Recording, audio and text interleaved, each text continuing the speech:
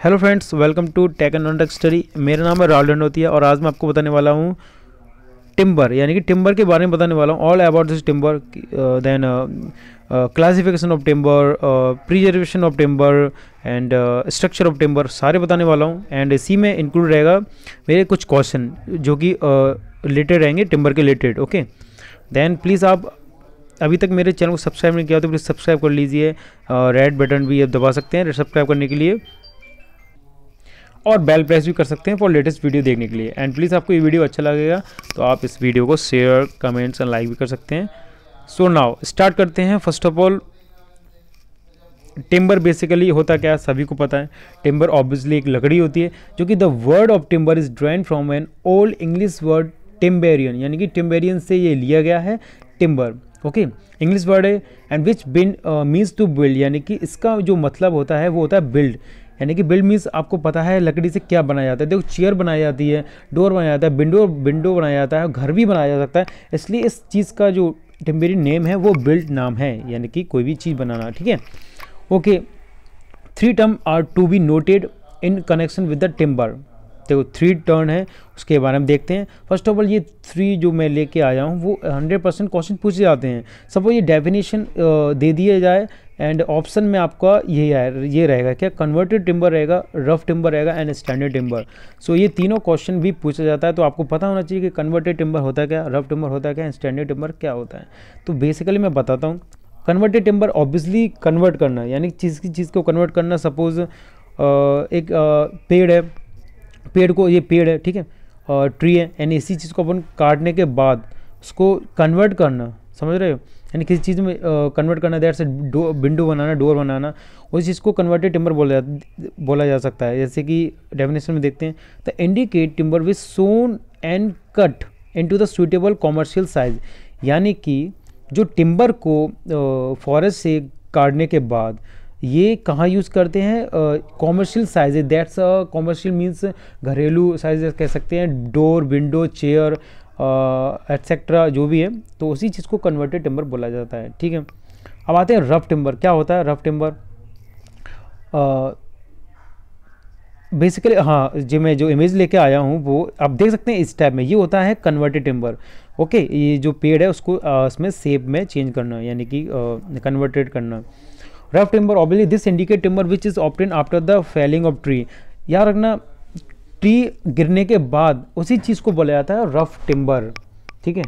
तो ये पूछा जाता है क्वेश्चन में कि सपोज़ ये डेफिनेशन दे दिया this indicates timber which is obtained after a felling a tree obviously answer आएगा rough timber and standard timber obviously नाम से पता चला standard timber this indicate timber contain a living tree यानी कि जो लिविंग ट्री रहेगा, उस चीज़ को बोलते हैं स्टैंडर्ड टिम्बर नाम से ही पता चलता है। देख सकते हैं फॉरेस्ट में ये ट्री स्टैंडिंग खड़े हुए हैं तो ये ऑब्वियसली लिविंग टिम्बर हैं। अब आते हैं क्लासिफिकेशन ऑफ़ टिम्बर ये that's very very important because इसमें से question hundred and one percent question पूछा जाता है। ट्री के रिलेटेड कोई भी क्वेश्चन आएगा तो इसके रिलेटेड हंड्रेड परसेंट पूछा जाएगा। ठीक है? तो आपको पता होना चाहिए first of all two type के होते हैं। क्लासिफिकेशन ट्री वो होता है एक्जोजीनियस ट्री और endogenous tree so sorry actually में क्लासिफिकेशन ऑफ़ ट्री से नहीं पूछा जाता स्ट्रक्चर ऑफ़ ट्री से काफ़ी ज़्यादा पूछा जाता है। सो बाय मिस्टेक बट आपको पता होना चाहिए क्लासिफिकेशन ऑफ़ ट्री एक्जोजीनियस क्या होता है और एंडोजीनियस क्या हो, होता है। तो बताता हूँ एक्जोजीनियस ट्री क्या होता है? एक्जोजीनियस ट्री में याद रखना कॉनिफर और डिजीडियस डेसीडियस ट्री होता है। ठीक है, अभी मैं बताता हूँ। एक्जोनियस ट्री देखो this tree increase in bulk growing outward the and distinct consecutive ring are formed in the horizontal section of such a tree this rings are known as annual ring उसी चीज़ को बोलते हैं annual ring याद रखना annual ring देखो suppose tree है। Tree की ये काफ़ी एनुअल रिंग है। और ये भी क्वेश्चन पूछा जाता है कि जो एज ऑफ़ द ट्री किस पर डिपेंड करती है? तो ऑब्वियसली एनुअल रिंग से डिपेंड करती है। ठीक है? तो ये आपको पता होना चाहिए एंड इसके जो कॉनिफर एक्चुअली ट्री में देखो कॉनिफर होता है ठीक है? और, और डिजीडियस होता है। कॉनिफर कैसे ट्री होता है? मतलब सपोज़ ये भी एक वर्ड में बोला जाता है कि जो सपोज़ जो पत्ते जो पत्ते झड़ते हैं एंड साथ ही साथ नए पत्ते आते हैं और पत्ते झड़ते हैं। तो उस चीज़ को कॉनिफर बोलते हैं, यानी कि डायरेक्टली बोला जाता है एक्जोजीनियस ट्री भी बोला जा सकता है उस चीज़ को। और एजो ट्री में अलग से जो बोलेंगे से स्पेशली कहेंगे तो वो कॉनिफर ट्री कह सकते हैं। ठीक है? देख सकते हैं conifer are also known as the evergreen tree ये एवरग्रीन ट्री रहता है हमेशा। And leaves of the these do not fall till new ones are grown यानी कि जब तक ये नए पत्ते ना आए, जब तक ये पत्ते झड़ते नहीं हैं। और पत्ते नए आते हैं तो एंड वो पत्ते झड़ते रहते हैं और नए पत्ते आते रहते हैं। कंटिन्यू होता रहता है ये तो होता है conifer tree and deciduous tree क्या होता है? ऑब्वियसली ये सीज़न के हिसाब से ऑटम यानी कि ऑटम के uh, ये ऑटम में ये ऑब्वियसली ट्री लीव्स फॉल होता है। the disease tree are also known as the broad leaf trees.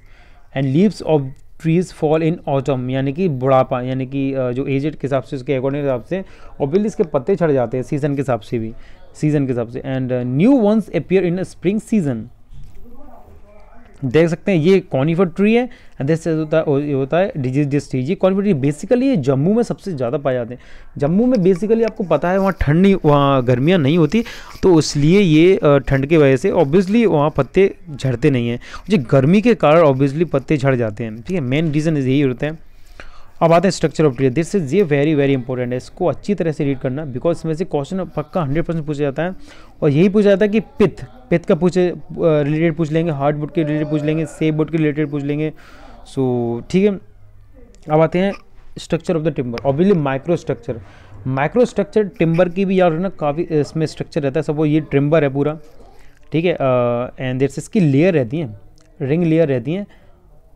और उसी चीज़ को मैं इसमें डिफाइन करूँगा, ठीक है लिंग लेयर तो ऐसे कि सपोज़ सबसे इनर लेयर सबसे इनर लेयर रहती है वो पित होती है सपोज़ ये पित होती है तो उसमें ऑब्वियसली इसमें दिया मैं अभी डायग्राम भी लेके आऊँगा। देखो पित होता क्या था? इनर मोस्ट सेंट्रल पोर्शन यानी कि इसमें सेंट्रल पोर्शन रहता है, छोटा सबसे सेंट्रल पोर्शन ठीक है central portion of a core of the tree इसी चीज़ को क्या बोलते हैं? पित बोलते हैं। क्या बोला जाता है? पित मैं, ठीक है, थोड़ा बता देता हूँ इसमें, देख सकते हैं आप इसमें। ये जो ब्लैक ब्लैक है ना उसमें चीज़ को पित बोलते हैं। आ, ये भी पूछा जाता है कि पित कहाँ पर सूटेबल तो आप बता सकते हैं। Innermost part of the innermost part of the timber ठीक है? तो ये ऑब्वियसली पित हो गया। हार्डवुड क्या होता है? हार्डवुड सपोज़ हार्डवुड क्वेश्चन में पूछ लिया जाए।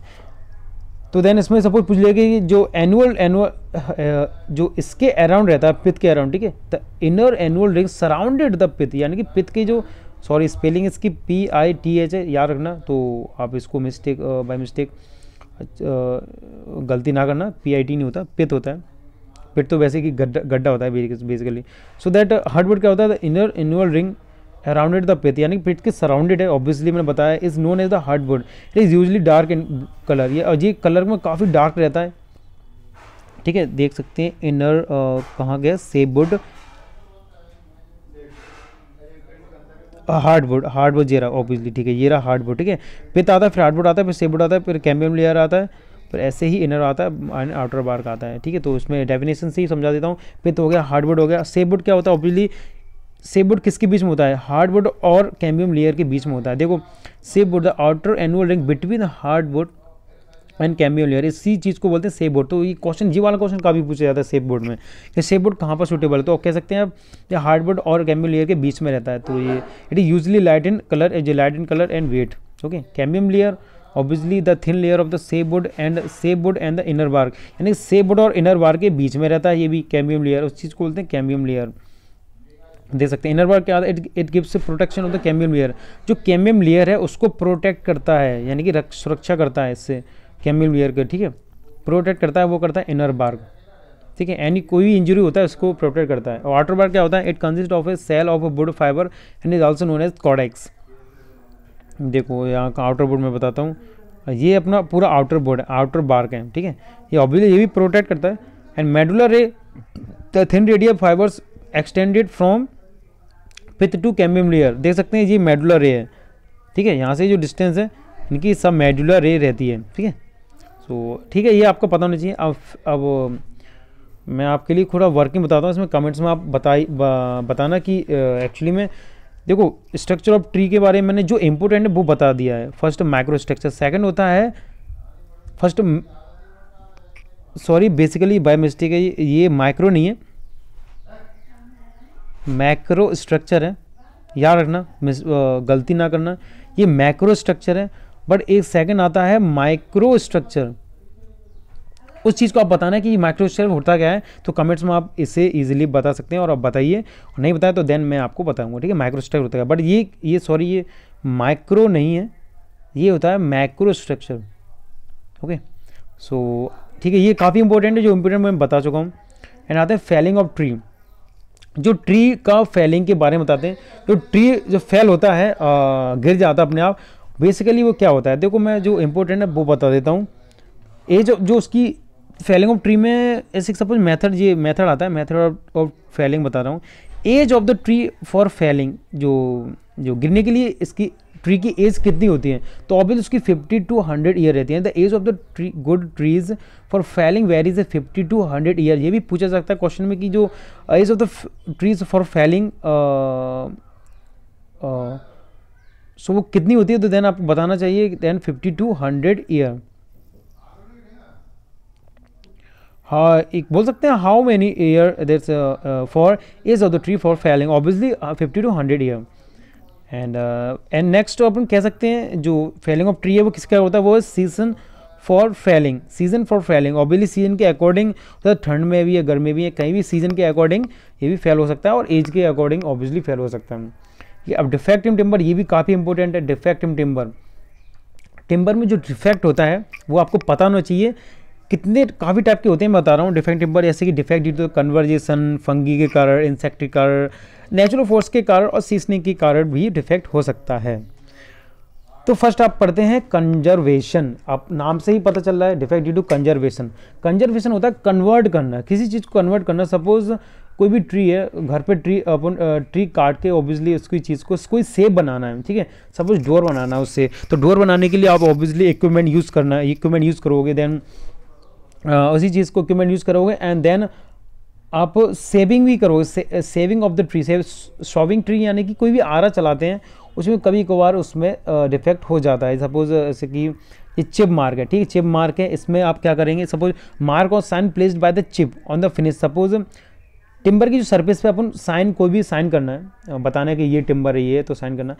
उसी चीज़ में कभी कभार डिफेक्ट हो जाता है।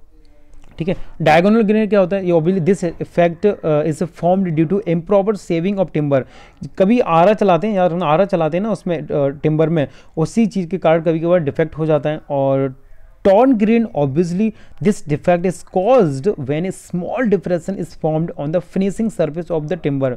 यार ना टिम्बर का कभी फिनिशिंग सरफेस करते हैं टूल के ज़रिए तो टूल का कभी तो टूल कभी गिर जाता है उस पर चीज़ होता इसी इसी चीज़ के कारण उसका क्या कहते हैं डिफेक्ट हो जाता है। लास्ट में था wane wane obviously this effect is denoted by the presence of original rounded surface on the piece of the timber ये राउंडेड सरफेस है, उसी चीज़ के कारण कभी कभार डिफेक्ट हो जाता है। जो कि टूल्स यूज़ करते हैं इसके कारण, ठीक है? तो इसमें इतना टफ नहीं है बट फंगी इस फंगी भी अच्छा क्वेश्चन है। फंगी के कारण डिफेक्ट होता है तो फंगी में देखते हैं, ये काफ़ी टाइप के हैं। जैसे कि suppose the moisture content of the timber is above ये क्वेश्चन पूछा जा सकता है। याद रखना याद रखना फंगी जब लगती है, जब उसमें ट्वेंटी परसेंट से ज़्यादा मॉइस्चर होता है, ये बेसिकली जो ट्वेल्व टू फिफ्टीन तो रहेगा तो उससे सेफ़ रहेगा कोई भी प्रॉब्लम नहीं होती।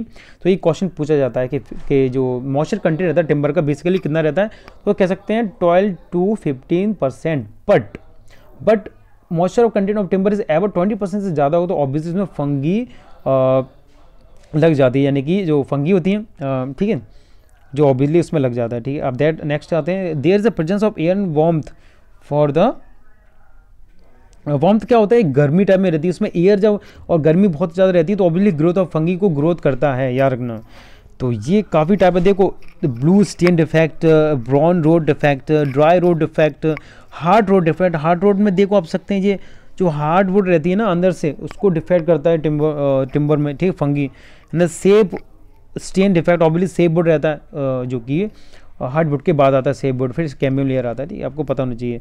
वेट रोड डिफेक्ट और white rot defect and seasoning defect तो ये नॉर्मली बेसिकली पता होना चाहिए आपको तो ये फंगी कार्ड काफ़ी डिफेक्ट होते हैं। तो ड्राई रोड हार्ड रोड ऐसे कह सकते हैं। This formed when a branch has come out of tree this tree becomes weak यार ना, ये ट्री बहुत वीक बना देता है heart wood heart rock roach obviously sudden होती है, यानी कि फंगी होता है फंगी कार्ड होता है सब। It gives out hollow sound and when struck when a hammer. यानी कि ये बहुत सारा, ये क्या बना देता है? Heartwood where is heartwood obviously ये क्या एक हॉलो बना देता है, छेद बना देता है, कोई बना देता है, उसमें जब ये थोड़ा मार देते हैं तो टूट जाता है एकदम, ठीक है? तो ऐसे ही काफ़ी जो कि आप इजीली इसमें डायग्राम में देख सकते हैं फ़ोटो में, ठीक है? ये इतना काफ़ी है। अब आते हैं नेक्स्ट इंसेक्ट यानी कि इंसेक्ट के कारण भी डिफेक्ट होता है। यानी कि कीटाणुआ होती हैं। सपोज़ बीटल्स बीटल्स के कारण, बीटल्स होता क्या है ये? ये झिंगुर होते हैं, ठीक है? झिंगुर के कारण सपोज़ जैसे कि बताता हूँ मैं they form pin holes of the size about two M M diameter in body यानी कि ये वुड में टू एम एम डायमीटर ये छेद कर देता है, ठीक है? तो ये इंसेक्ट के कारण भी प्रॉब्लम होता है।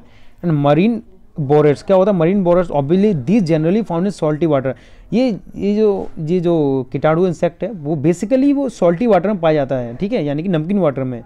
Most of the varieties of marine borers do not feed on wood ठीक है? बट दे मेक होल्स और bore tunnels in wood for taking shelter ये भी एक बड़े बड़े छेद बना देता है, देख सकते हैं डायग्राम में, और टर्माइट्स टर्माइट्स क्या है? तो बेसिकली पता होना चाहिए these are the popularly known as the white ants ये एक जो छोटी चीटियाँ होती हैं, वो होती है टर्माइट्स टर्मिट्स टर्मिट्स बोल सकते हैं। तो ये भी ऑब्वियसली ये होल कर देता है, छेद कर देते हैं तो छोटे छोटे टाइप में तो उस चीज़ को ये डिफेक्ट ऑब्वियसली टिम्बर में डिफेक्ट कर देती है इंसेक्ट की कारण ठीक है? ये थ्री हो गए अब आते हैं natural forces normally natural forces आप पता ही आपको नेचुरल फोर्सेज मीन्स कभी हवा चल रही है। नेचुरल फोर्सेज जैसे कि बर्ड सेलस केमिकल स्टेन और सेक्स नोट्स रिंग गैल ये काफ़ी होते हैं टाइप बर्ल क्या होता है बेसिकली देख सकते हैं बर्ल में जो देखो, इसमें नेचुरली हो जाता है, ठीक है?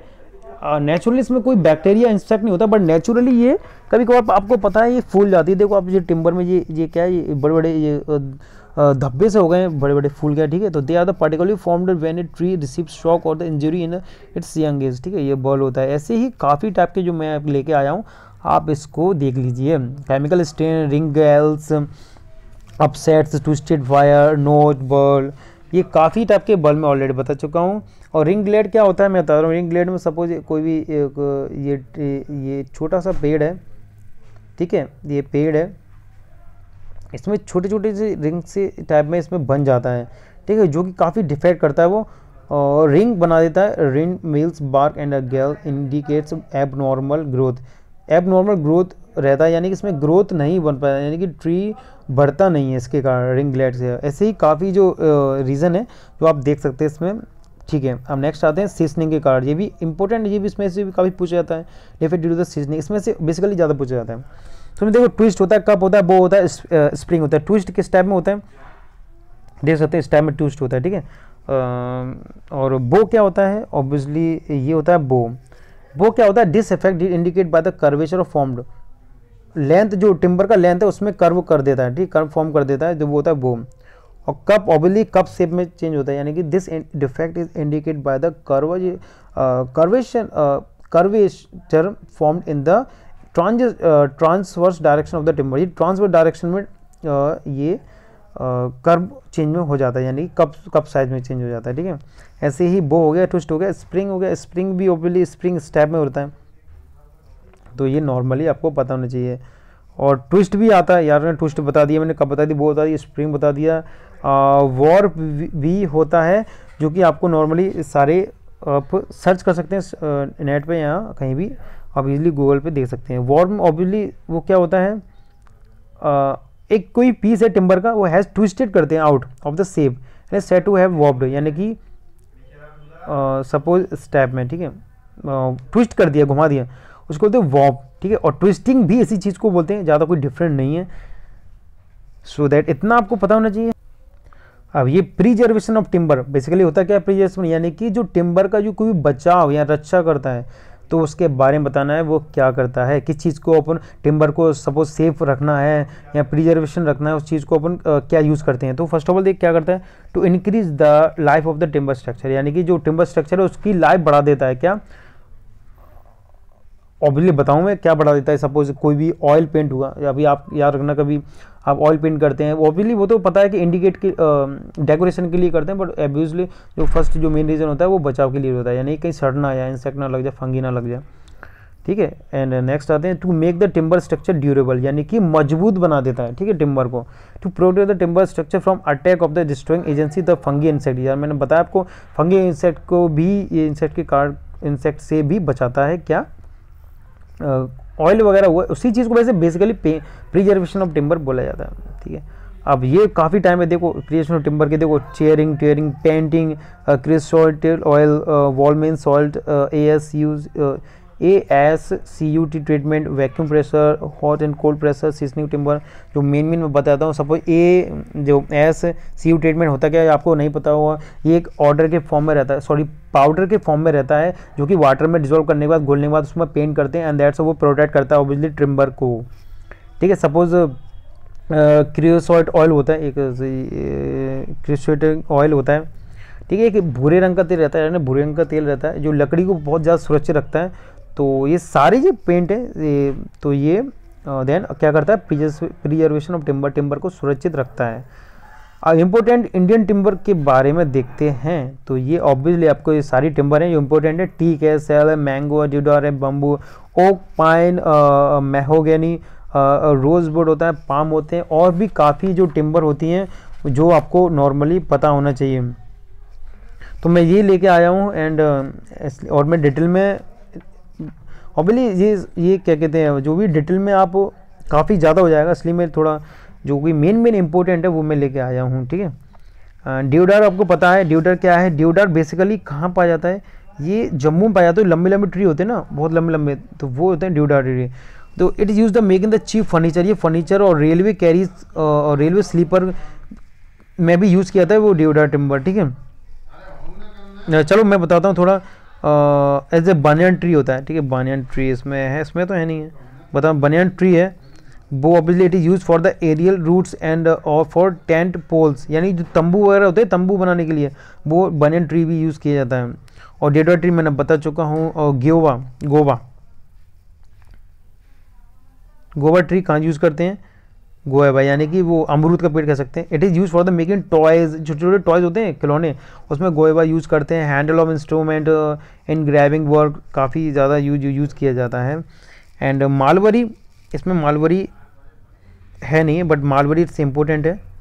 मालवरी जो M U L B E double R Y ठीक है? मालवरी जो टिम्बर है तो वो स्ट्रॉन्ग रहता है काफ़ी। काफ़ी स्ट्रॉन्ग रहता है। सैतूत कह सकते हैं हिंदी में इसको। सैतूत का पेड़ कभी सुना होगा। सैतूत का पेड़ ऑब्वियसली सैतूत भी लगते हैं, उसमें खाते हैं लोग। तो देन मालबरी इस चीज़ को बोलते हैं। तो मालबरी स्ट्रॉन्ग रहता है और टफ रहता है लास्ट रहता है। It takes up clean finish it can well seasoning it जो कि बेसिकली ये पंजाब में पाया जाता है सबसे ज़्यादा, ठीक है?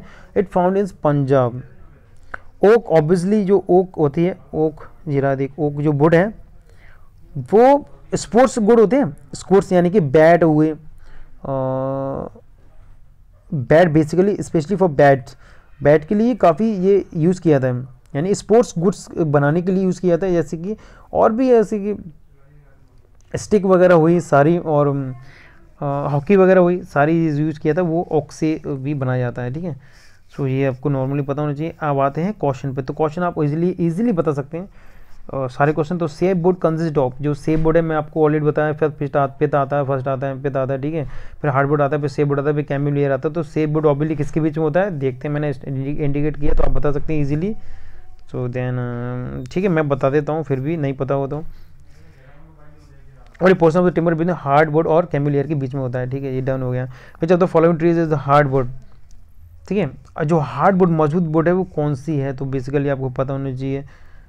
तो वो कौन सी है? तो वो सीसम है, ठीक है? सबसे ज़्यादा मौजूद होती है। और in which of the following pair both the tree of yield of soft wood both tree yield in soft wood कौन सी होती है? कौन सी जो पेयर है, उसमें ट्री ईल्ड एंड और सॉफ्ट वुड है तो वो आपको नॉर्मली पता है वो है चीर एंड ड्योडा ठीक है? जोड़ा कह सकते हैं। Which of the following timber suitable for the making sports अभी अभी बताया जस्ट अभी तो वो मेकिंग स्पोर्ट्स के लिए कौन सी यूज़ किया जाता है? तो मालवरी यूज़ किया था। मालवरी ओक भी यूज़ किया था बट मालवरी सबसे ज़्यादा किया था। मालवरी मैंने बताया, वो ओबली स्ट्रॉन्ग रहता है, ये इलास्टिक भी रहता है टफ रहता है, ये पंजाब में पाया जाता है तो मालवरी इसका बेसिकली करेक्ट आंसर मालवरी है। ओक इसमें आंसर वो गिवन नहीं है यदि ओक होता तो वो भी लगा सकते हैं। The moisture content of the well season timber देखो, ये काफ़ी इंपॉर्टेंट क्वेश्चन हंड्रेड परसेंट पूछा जाता है, जो कि आपको पता होना चाहिए। द मॉइस्चर कंटेंट जो वेल सीज़न का मॉइस्चर कंटेंट कितना होना चाहिए, वो टेन टू ट्वेल्व परसेंट है। And and above twenty percent रहता है तो वो फंगी का कार बन जाता है, उसमें फंगी लग जाती है, ठीक है? तो बेसिकली सही जो नॉर्मली रहता है, वो टेन टू ट्वेल्व परसेंट तो आंसर इज़ बी नेक्स्ट आते हैं when which in which of the following direction the strength of the timber is maximum तो जो जो सबसे ज़्यादा स्ट्रेंथ लेती है वो किस डायरेक्शन में टिम्बर ले सकती है? तो वो कह सकते हैं उसका है वो parallel to grain plywood has the advantage of plywood had advantage plywood का एडवांटेज क्या है? तो ये नॉर्मली पता होना चाहिए वो same tensile strain all direction ठीक है? Age of the age of the tree can be known by examining जो एज ऑफ़ द टिम्बर है वो किस पे डिपेंड करती है? तो मैंने ऑब्वियसली बताया, अभी बताया आपको तो आप इजीली आंसर दे सकते हैं, वो है एनुअल रिंग एंड जो practical limit of the moisture content achieve in drying of timber तो ऑब्वियसली ये कितना होना चाहिए? तो आपको नॉर्मली पता होना चाहिए वो है थर्टी फाइव सॉरी इसका फिफ्टीन परसेंट है। नॉर्मली वो बाइसिकली थोड़ा गलती हो गया। एंड uh, कितना है? फिफ्टीन परसेंट आंसर इसका fifteen percent so so, please आप इस वीडियो को अच्छा लगा तो प्लीज़ दोस्तों के साथ शेयर कमेंट से लाइक कर सकते हैं और प्लीज़ आप इस चैनल को सब्सक्राइब भी कर सकते हैं फॉर लेटेस्ट वीडियो एंड मैं डिटेल में ऐसे ही लाता रहूँगा सारे सब्जेक्ट के तो आपके लिए काफ़ी काफ़ी बेनिफिशियल रहेगा. So thank you so much